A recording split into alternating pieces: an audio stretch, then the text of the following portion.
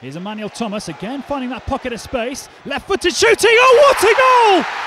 What a goal that is! Bristol City strike first in the Bristol Derby. And it's Jay Emmanuel Thomas with an absolute screamer. Well, I tell you what, there's been some good goals to grace this fixture over the years, but have few been better than that one? Left footed, straight as an arrow, no chance for Mildenhall. Bristol City strike first in the Bristol Derby. Emmanuel Thomas has a goal for Bristol City fans to remember.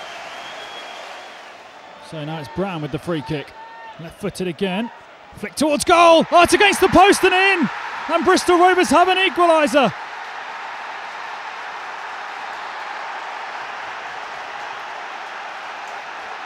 Well, how about that? I think it's McChrystal who's turning away to celebrate. Now here's Emmanuel Thomas. Goes past O'Toole. Emmanuel Thomas still has it. Oh, it could be a chance for Baldock. It's Bryan. Oh, it's a goal. Bristol born, Bristol bred has the goal that could decide the Bristol Derby. Joe Bryan